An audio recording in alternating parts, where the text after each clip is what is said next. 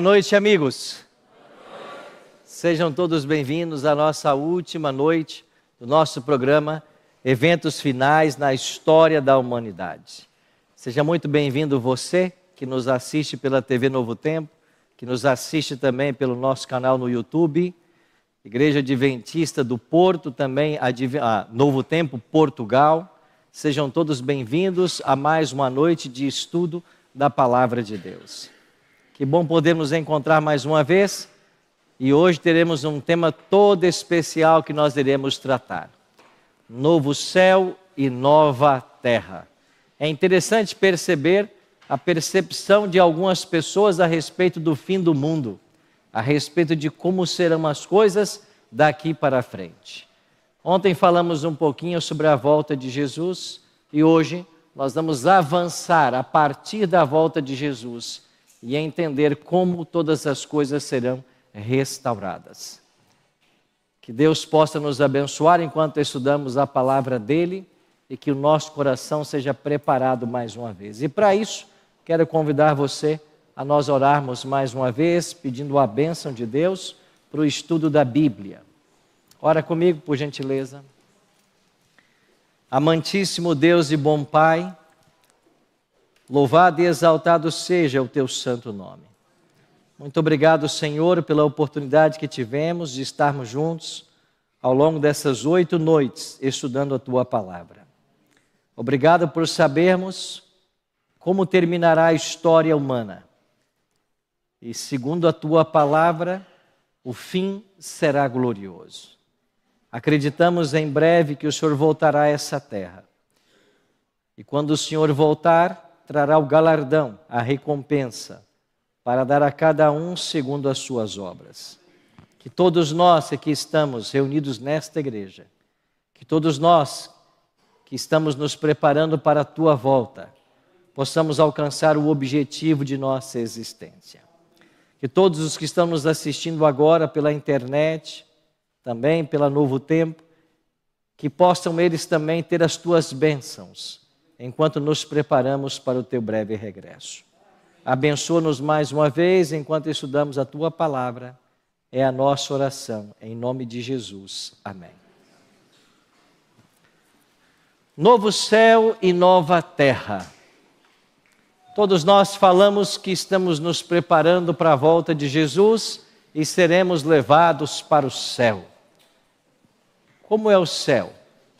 Como será a vida no céu? Às vezes falamos tão pouco sobre o céu, mas o céu é tudo para nós. Jesus Cristo, certa ocasião, disse: Pois que aproveitará o homem se ganhar o mundo inteiro e perder a sua alma? Nesse contexto, perder a alma significa perder a salvação. De que adianta o homem ganhar todas as coisas e perder a salvação? De que adianta o homem conseguir todas as riquezas que esse mundo pode oferecer e perder a salvação? De que adianta o homem conquistar todos os títulos que as universidades do mundo podem oferecer e perder a salvação? De que adianta termos tudo nesse mundo e não estarmos prontos para o mundo vindouro? Um sábio escreveu certa vez que é aquele que todo o preparo faz para esta terra e nenhum para a eternidade, é sábio por um momento, mas tolo eternamente. Nós devemos sim fazer preparos para essa terra, mas o nosso maior objetivo é nos preparar para o céu. Porque se nós perdermos o céu, nós teremos perdido tudo se perdermos o céu, teremos perdido tudo. Por isso, vamos conversar um pouquinho sobre o céu. Há dois homens na Bíblia que foram visitar o céu. Um deles voltou, o apóstolo Paulo, e disse que havia visto coisas inefáveis, das quais não lhe era lícito falar. O outro foi João. Ele volta e ele dá detalhes a respeito de como será essa vida no céu. João diz assim, em Apocalipse 21, verso 1: Vi novo céu e nova terra, pois o primeiro céu e a primeira terra passaram e o mar já não existe. João viu um novo céu e uma nova terra. Você já viu como é o novo do homem? O novo fogão, a nova lavadora de roupa, o novo freezer, o novo carro. É apenas uma velharia reformada. Muda-se um design aqui e ali e é o novo. Troca-se um, uma marca, é o novo do homem. Esse não é o novo de Deus. Deus ele fará uma coisa inédita. Deus vai restaurar todas as coisas. Deus vai transformá-las à sua beleza original. O plano de Deus que foi interrompido por causa do pecado, ele será agora restaurado. O plano de Deus de vivermos felizes e eternamente ele vai ser continuado. Esse ato que o pecado causou estará no passado. E nós viveremos felizes e eternamente ao lado de Deus. Esse era o plano para Adão e Eva, assim que eles foram criados. A palavra de Deus diz que eles foram testados. Deus disse que eles poderiam comer de todas as árvores, menos da conhecimento do bem e do mal da árvore do conhecimento do bem e do mal. E em Gênesis 3:6 você tem a história da queda. Vendo a mulher que a árvore era boa para se comer, agradável aos olhos, desejável para dar entendimento, tomou-lhe do fruto e comeu, e deu também ao seu marido, e ele comeu. Nesse ato de desobediência, eles colocaram agora em risco a chance de viverem eternamente. Quando deu o pôr do sol, hora que Deus visitava o casal, Deus veio visitá-los, e então Deus pergunta: Adão, aonde estás? Porque ele não encontra o homem. E então temos em Gênesis 3:10 a resposta de Adão: Ouvi a tua voz no jardim, e porque estava nu, tive medo e me escondi. Nós estudamos isso aqui na primeira noite. Esse estar nu é a semelhança que o homem passou a ter com a serpente.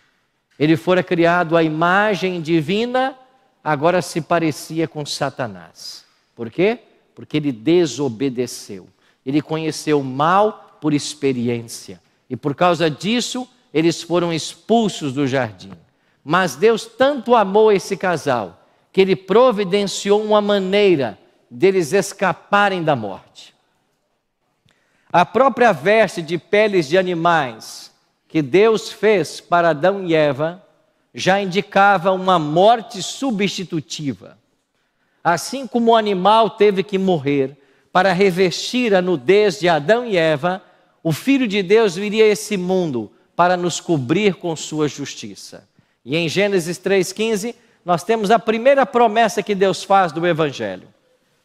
Assim diz o texto: Porém, inimizade entre ti e a mulher, entre a tua descendência e o seu descendente. Este te ferirá a cabeça, e tu lhe ferirás o calcanhar. Jesus Cristo, ao ser crucificado, ele teve sua ferida no calcanhar. A serpente conseguiu ferir o Filho de Deus, mas o Filho de Deus um dia esmagará a cabeça da serpente. E nós entendemos esse esmagar em três tempos. O primeiro tempo se deu na cruz do Calvário, porque na própria cruz Jesus foi vitorioso. Ao morrer sem nunca ter pecado, ele venceu as forças satânicas. O segundo ato do esmagar a cabeça da serpente será quando ele voltar agora em nossos dias. Quando ele voltar à terra, Satanás será aprisionado por mil anos. E o terceiro ato será depois de mil anos, quando Deus mandar fogo dos céus e destruir para sempre Satanás, seus anjos maus e os ímpios. É assim que o Apocalipse 20 diz que terminará a história. E esse mesmo fogo que destruirá Satanás, seus anjos e os ímpios, purificará o planeta Terra. E então nós teremos aqui a continuidade da vida eterna prometida a Adão e Eva. Em Cristo, nós temos novamente direito à vida eterna. Em Cristo, nós podemos nos apostar da justiça conquistada na cruz e por ela sermos salvos.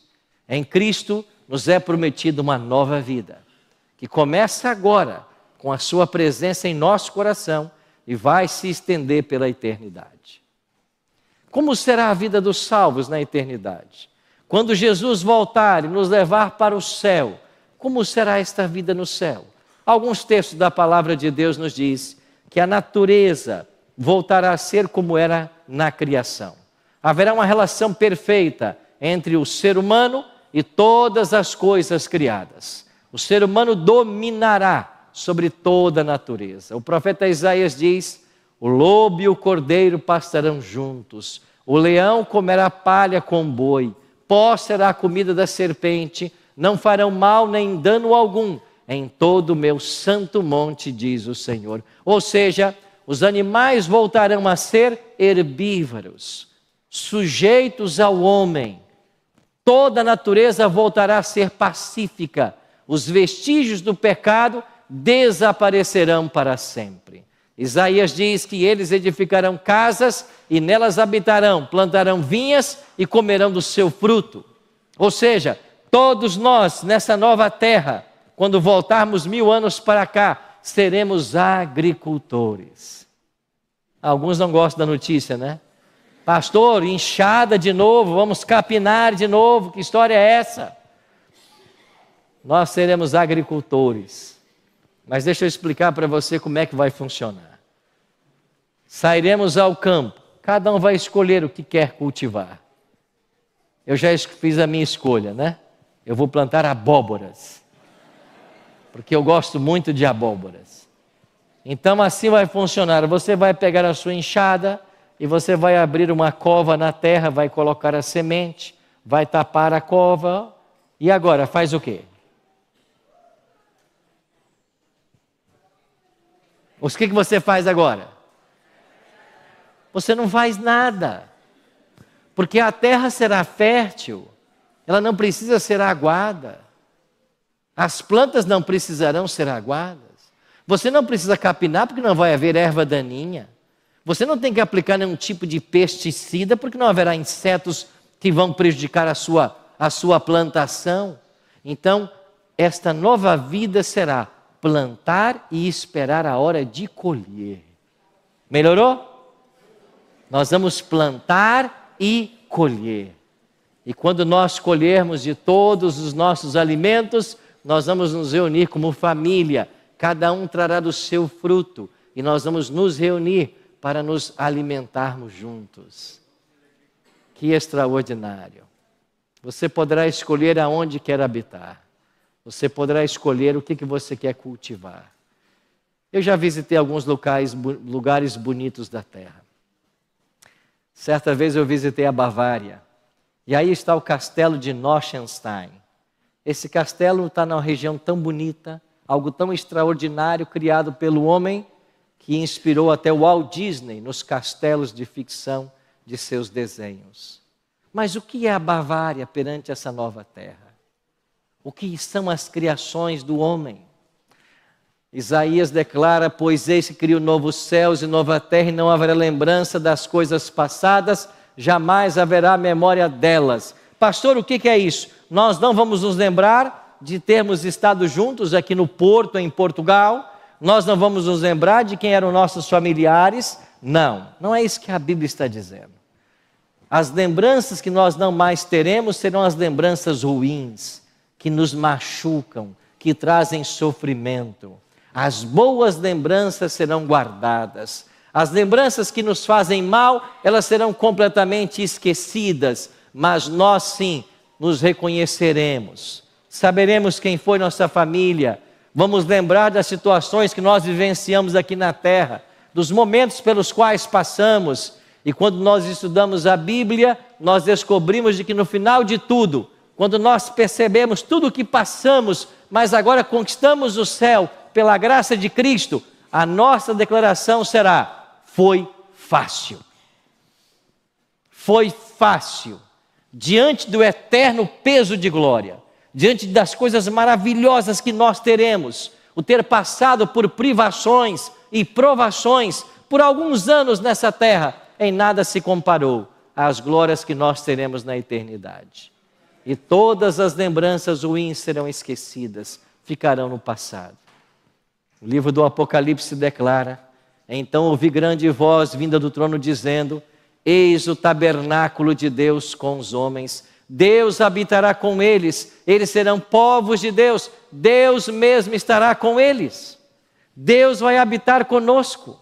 Aliás, esse sempre foi o desejo de Deus. Ao colocar no jardim Adão e Eva, todos os dias Deus vinha para visitá-los. E quando eles foram expulsos do jardim, Deus mandou que Moisés construísse um santuário. E Deus habitava no santuário. As tribos estavam acampadas em volta do santuário. Deus era adorado no santuário. Depois, o santuário foi construído em Jerusalém.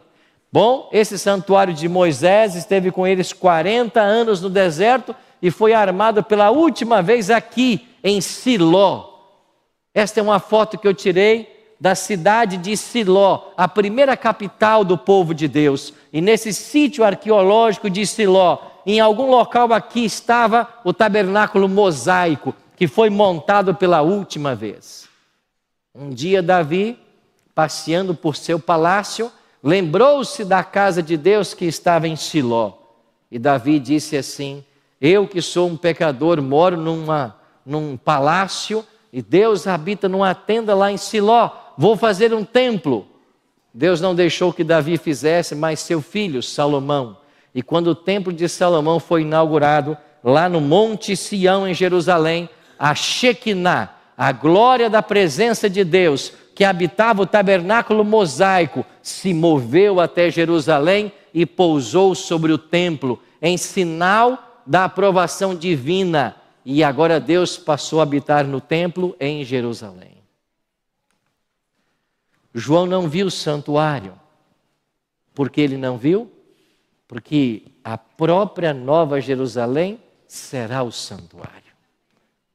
Para sempre esta cidade será o trono do universo e Deus mesmo habitará com todos nós. Nós veremos a Deus Pai, face a face. Nós veremos a Deus Filho, face a face. E veremos a Deus Espírito, face a face. Nós vamos nos relacionar com os três seres da divindade por toda a eternidade. E então vem uma das promessas mais lindas que o Apocalipse nos faz. Quando esse momento chegar, Deus enxugará dos olhos toda lágrima, e a morte já não mais existirá. Já não haverá luto, nem pranto, nem dor, porque as primeiras coisas passaram. Deus vai enxugar a última lágrima. Nunca mais nós iremos sentir tristeza. Nunca mais nos separaremos das pessoas que nós amamos. Nunca mais. Há alguns anos eu recebi num sábado de manhã uma ligação e um sobrinho meu dizia do outro lado do telefone: Tio Arilton, a notícia que eu tenho para dar não é boa. E quando ele disse isso, minha mente, num flash, se voltou para meus pais, já idosos na ocasião. E então ele disse: acabou de falecer o seu irmão, o João. 51 anos, nenhuma doença, praticava esportes. Chegou do trabalho ainda na madrugada na empresa onde dirigia um caminhão. Era muito, era alta madrugada. Ele disse para os colegas: "Eu vou ficar aqui no caminhão" descansar um pouco aqui mesmo. E quando der às seis da manhã, vocês, o motorista da empresa chegará e ele vai me levar até em casa. Então eu vou descansar aqui mesmo até que o motorista chegue. E quando deu às seis da manhã que o motorista chegou, foram lá no caminhão para chamá-lo. E aí no volante mesmo, sentado no volante, ele havia falecido. Morte, causa desconhecida. 51 anos. E num domingo muito chuvoso, Foi muito triste fazer o velório de meu irmão. Alguém a que eu muito amava. Alguém que sempre me motivou na vida em todos os momentos. É muito triste você se separar de alguém que você ama sem ao menos dizer adeus. Sem dizer para a pessoa tudo o que ela significou para você. A nós que estamos vivos, nos lembremos disso. Mortos não sentem o cheiro das flores. Não podem ouvir suas expressões de amor e gratidão. Não espere que as pessoas morram para tentar demonstrar gratidão, afeto. Diga às pessoas o quanto elas são importantes. Diga às pessoas o quanto você as ama. Diga para seus filhos o quanto eles são importantes. Diga para teus pais o quanto você os ama. É isso que importa. Não deixemos que a correria do dia a dia nos faça esquecer o quão importantes são as pessoas.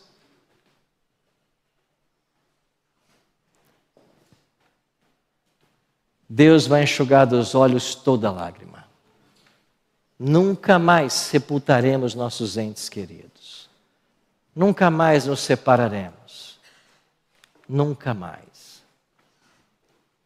Isaías diz que de uma festa de lua nova a outra, e de um sábado a outro, virá toda a carne adorar perante mim, diz o Senhor. Nós viveremos em família, mas ao sábado, no sétimo dia, nós vamos nos reunir para adorar a Deus, assim como Ele planejou desde a criação. Em todo sábado, nós vamos continuar nos reunindo para adorar a Deus. Quando nós guardamos o sábado aqui, quando nós santificamos o sétimo dia, nós estamos nos preparando para o céu, porque lá continuaremos a santificar esse dia de acordo com a palavra. E um dia, nós poderemos ver o próprio Senhor Jesus. E vamos estar todos os salvos reunidos de todas as eras. Vamos poder conhecer todos os personagens que a Bíblia conta a história e que estão salvos. Vamos poder conversar com Moisés, Davi, Elias, Enoque. Vamos poder conversar com os apóstolos. Vamos poder conversar com os cantores de Israel vamos poder conversar com o próprio Senhor Jesus. Você quer ir para o céu? Você quer de fato ir para o céu? Você acredita nisso? Há apenas uma condição. Essa condição aparece aqui em Apocalipse 21, 27.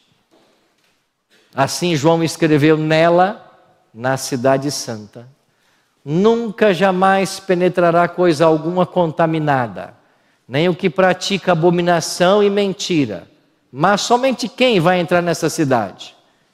Os escritos no livro da vida do Cordeiro. E quando é que o meu nome é escrito no livro da vida do Cordeiro? Quando eu aceito a Jesus como meu Salvador pessoal. E quando eu passo pelas águas do batismo. É aí que meu nome vai para o livro da vida do Cordeiro. Quando eu tomo a decisão de me entregar a Cristo, quando eu me entrego a Ele, aceitando como meu Salvador pessoal, e quando eu passo pelo santo batismo, Jesus disse que o que nós ligarmos na terra será ligado no céu, e o que desligarmos da terra será desligado do céu. Quando batizamos alguém na terra, ligamos essa pessoa no céu.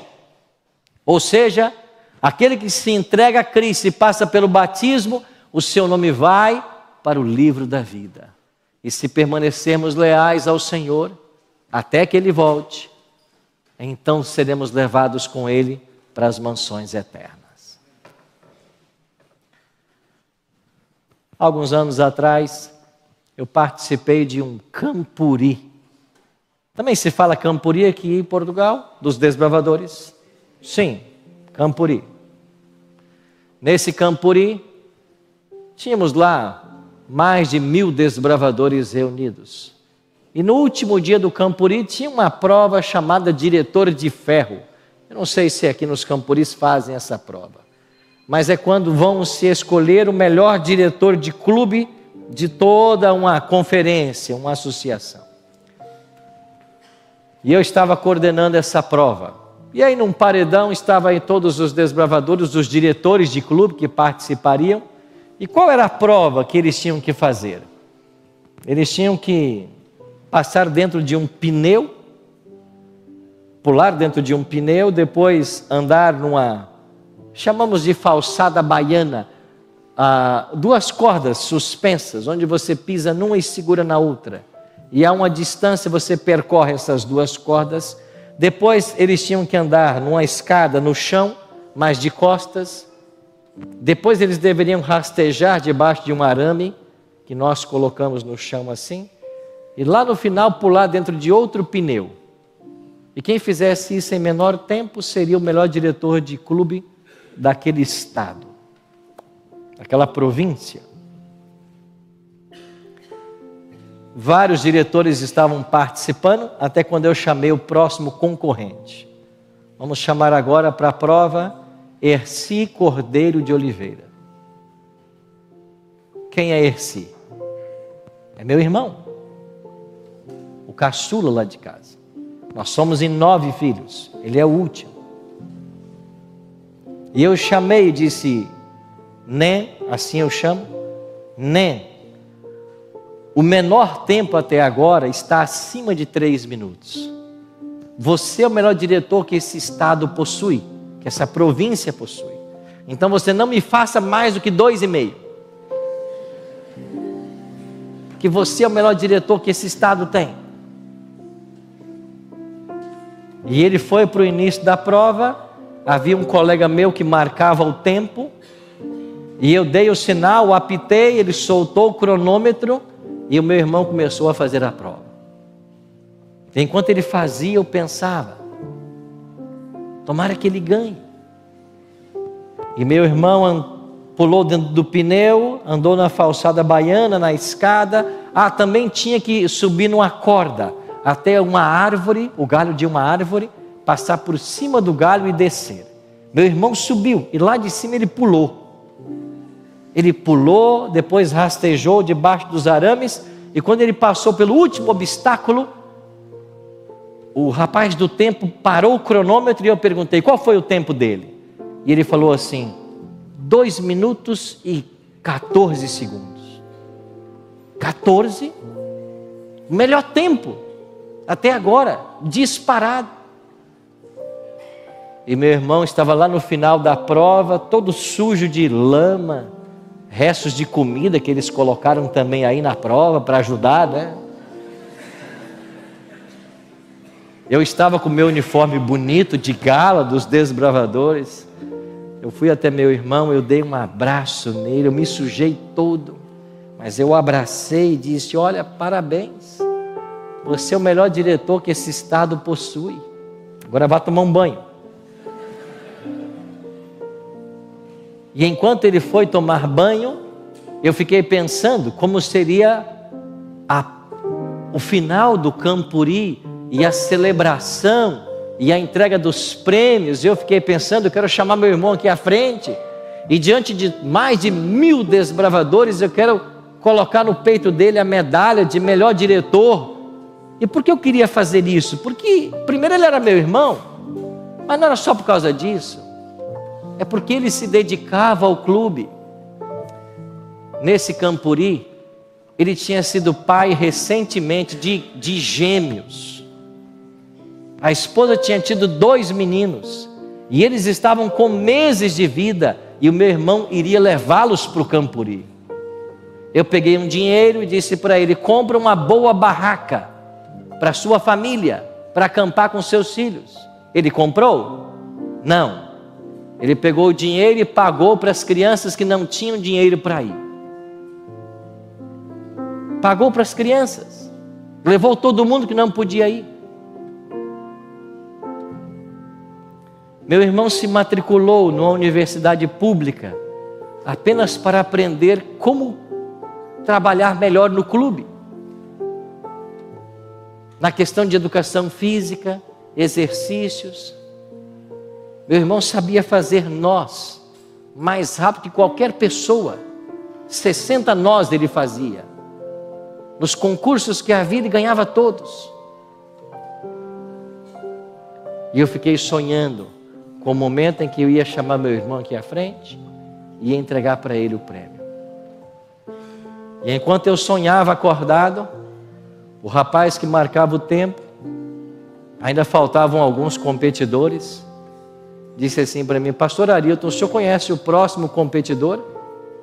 E eu olhei lá para a prova e era um rapaz magrinho que passou carvão no rosto, assim, parecia um ninja, né? Assim.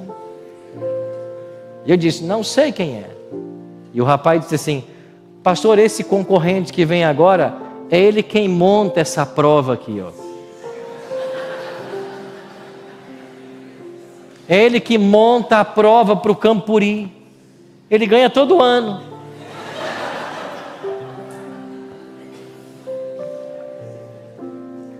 Eu falei, faz de perto, sai de perto e faz o seu trabalho. Só faz o seu trabalho.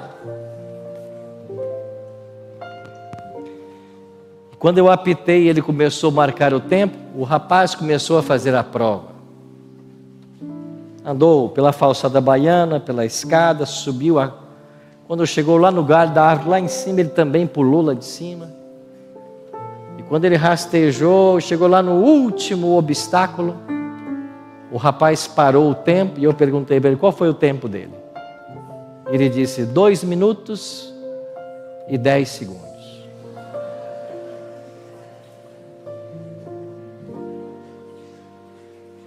Olhei para ele no final da linha, todo sujo também, miserável.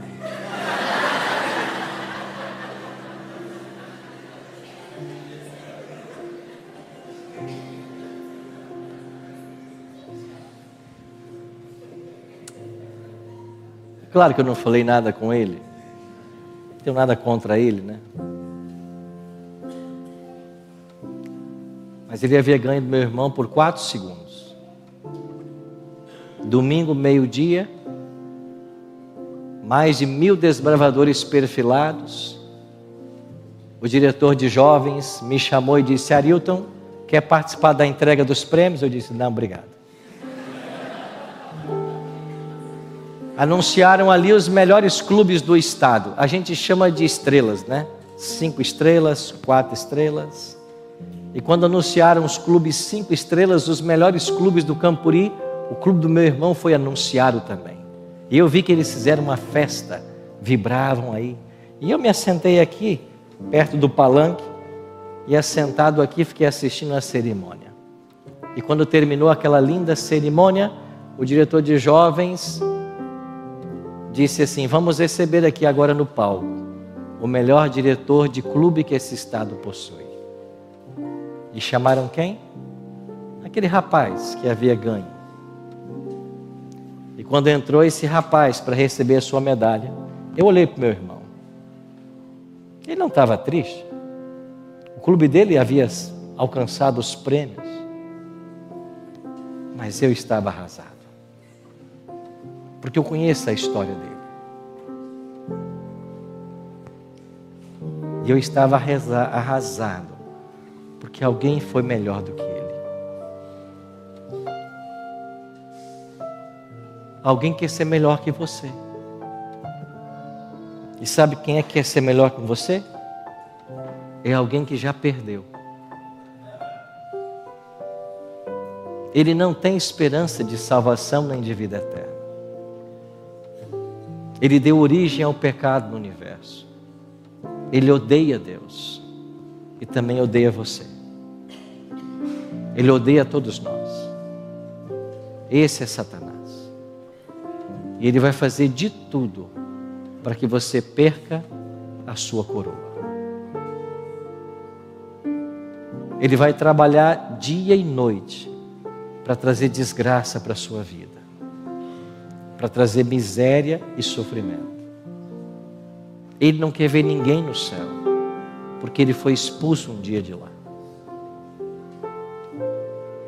E só há um jeito de vencê-lo. Porque por nós mesmos não temos condição alguma.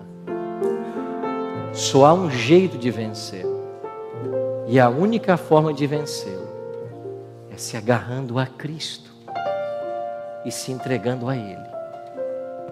Porque quando eu entrego a minha vida a Jesus, a minha vida fica escondida em Cristo. E o apóstolo Tiago declara: aquele que é nascido de Deus, Deus o guarda, e o maligno não lhe toca. O diabo não pode colocar o dedo naquele que é nascido de Deus, naquele que se entrega a Cristo naquele que tem a vida escondida em Cristo. E é por isso que nessa última noite, nós vamos ter uma música agora.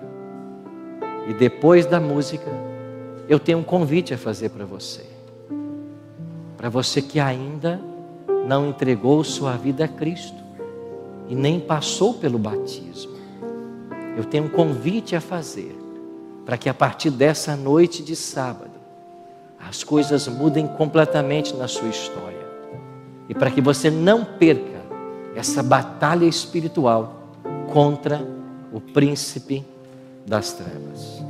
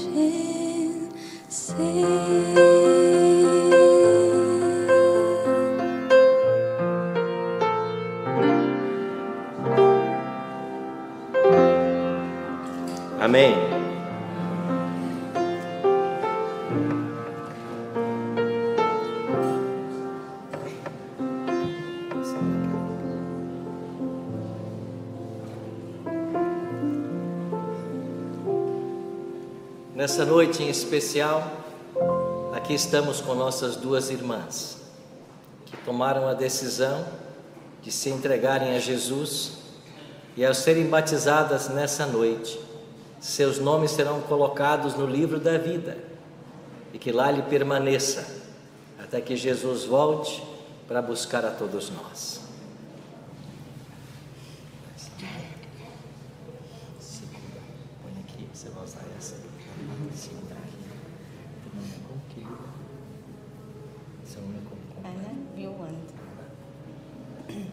Aqui está a nossa querida irmã Ana, que será a primeira a ser batizada nessa noite. Querida irmã Ana, aceitastes a Cristo como teu Salvador pessoal.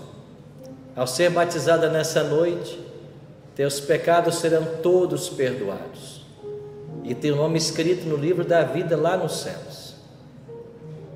Por isso, em obediência à ordem de Cristo, eu te batizo nessa noite como ministro do Evangelho, em nome do Pai, do Filho e do Espírito Santo. Amém.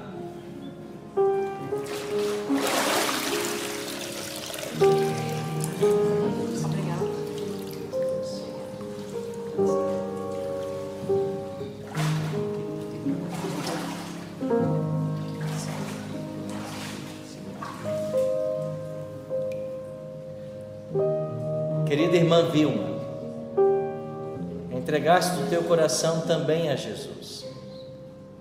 Nessa noite, todos os teus pecados serão perdoados. Teu nome será colocado no livro da vida e que lá ele permaneça até que Jesus volte para buscar a todos nós. Em obediência à ordem do Mestre e como ministro do Evangelho, eu te batizo nessa noite em nome do Pai, do Filho e do Espírito Santo. Amém.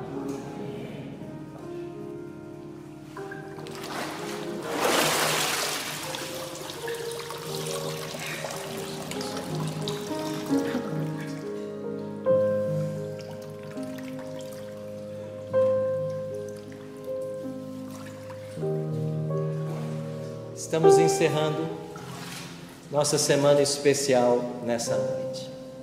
Quero fazer uma última oração com você que quer nessa noite entregar o seu coração a Jesus e se preparar para em breve também passar pelo santo batismo. Quero convidar você que vem aqui à frente para receber esta oração. Você quer ir para o céu? Você precisa passar por essa cerimônia. E eu quero convidar você a se levantar, onde quer que você esteja agora, e vir aqui bem perto receber esta oração. Lá na galeria, você está sentado aí, pode descer também. Vem aqui receber uma oração especial, uma oração de entrega. Você que nos assiste pela internet, pode colocar o seu nome no nosso chat Pode mandar sua mensagem para o nosso WhatsApp que aparece na sua tela agora. E nós iremos ajudar você. Pode vir. Quero convidar vocês a vir aqui à frente, dando esse importante passo ao lado de Jesus. Tem amigos que estão descendo da galeria. Venham. Cristo está caminhando em direção ao nosso planeta. Ele volta em glória e majestade. Nós precisamos nos preparar para recebê-lo. Por isso, nessa noite, tome sua decisão de se entregar a Jesus. Talvez eu esteja falando com alguém agora que precisa passar por um rebatismo. Um dia, quem sabe, você já foi membro desta igreja, se afastou pelos problemas que a vida tem mas nessa noite é hora de voltar aos braços de Jesus. Então venha, tome agora a sua decisão. Venha receber uma oração para fortalecer você em sua caminhada espiritual. Não deixe que Satanás roube a tua coroa. Permaneça leal e fiel a Cristo até a morte, e Ele vai te abençoar. Por gentileza, fique desse lado aqui, por favor, ao lado dos amigos que aí estão. Venha. Deixe que o Espírito Santo traga você. Venha, venha, meu amigo. Se levante e venha, não fique aí sentado. Deus está chamando você para uma decisão. Louvado seja Deus por esses que estão vindo à frente. Louvado seja Deus.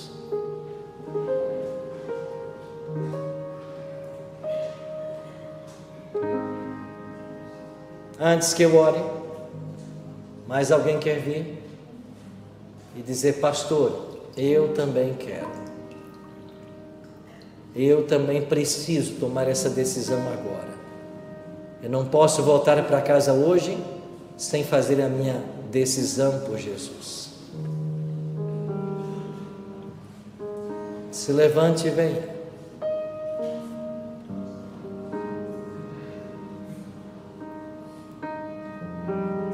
Louvado seja Deus.